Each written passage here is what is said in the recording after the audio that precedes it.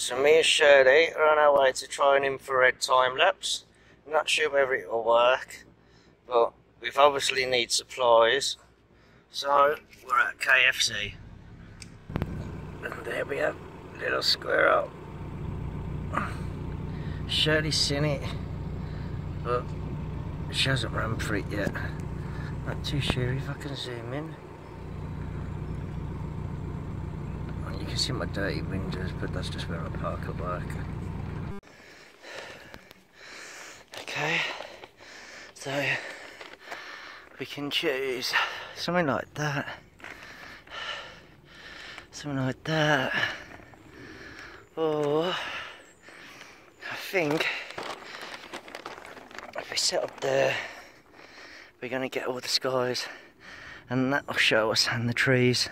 So hopefully all them trees are going to be white. That's either going to be a mustardy yellow or jet black. Then we'll get set up and have some KFC.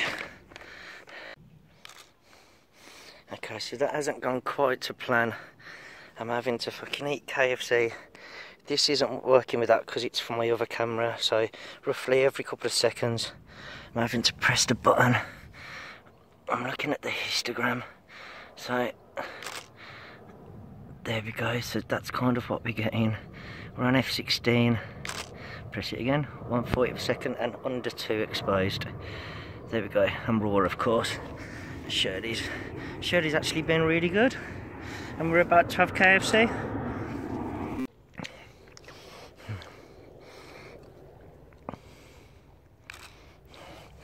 you said a man can't multitask. Look.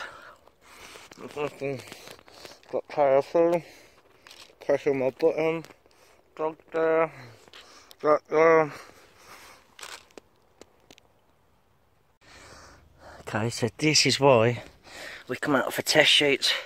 We found out this isn't working because it's for a fucking Canon and all my Canon, all my cameras are Nikon, but for some reason it works on the other one so fuck knows what's going on there. And also we were getting lens flare, but check that out. KFC fucking lens cover, and look. No more lens flare. Look, who the fuck needs fucking leeches when you got mosquitoes fucking sucking the blood out of you? But we're set up. Shirley's not even caring about them. Motherfuckers. Motherfuckers.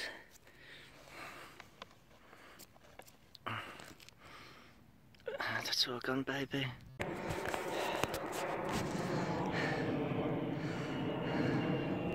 Okay, so we've done what we could. The lens flare was just getting too bad. So we're gonna see what we've got. 100 images hopefully. Probably about two second time lapse. And me and Shirley are done with our KFC. So we've done a fuck off back and see what's going on and see if it works or not. So that's our walkover. Lessons learnt definitely. Definitely need a lens hood for it, for the new lens. Uh, Shirley weren't too bad.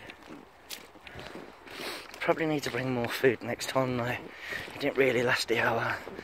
Uh, what else? That's pretty much it, fuckers. Now we just gotta get home, edit it, put it on a video, put the time lapse at the end, and hopefully it's all done.